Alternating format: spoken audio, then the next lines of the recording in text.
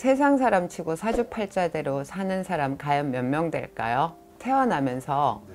어, 살아야 되는 방향들은 다 있어요. 네. 있지만 내 맘대로 세상이 다 된다면 얼마나 좋아. 맘대로 안 되는 것이 인생이라. 네.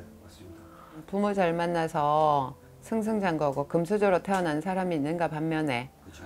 흙수저로 태어나서 태어나면서 버려지는 사람들도 있어요. 근데 이게 과연 사주팔자대로 사는 것일까? 라는 걸 말해봐요. 나는 네. 다른 거 없다라고 보여요. 내가 보기엔 음, 자기 노력이 먼저고 어, 살아가면서 아픈 거, 슬픈 거, 눈물 나는 것들 많을 거예요. 힘들면 힘드는 대로 가져야 되는데 내가 사주팔자대로 살지는 못하지만 그 팔자를 본인이 만들어 갈 수는 있어요. 음, 신바람이 쳐서 어, 무엇이 맨날 망조가 들어서 이런 우리 같은 사람한테 찾아다니는 사람이 있고 또한 그렇지 않고 자기 믿음만 가져가는 사람들도 있어요. 무엇을 원하든 노력을 해서 얻어가는 것이 내 인생의 반 또한 30%는 사람으로는 인연의 그것 나머지 10%는 운이라는 거죠. 네.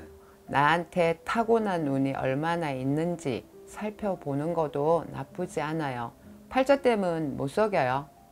내가 가장 하고 싶은 말, 예를 들어서 이거예요. 한 가지만 말을 해주자면 내 부모님이 과연 얼마나 순탄하고 평탄하게 사는지를 보시면 돼. 이제 세상에 많은 도움을 내었다면 나도 역시도 그렇게 살아갈 것이고 사기꾼이나 정가자라면 내 삶 또한 지질이 궁상이겠죠. 내가 정직하게 사는 것이 내 팔자대로 사는 삶이지 않을까.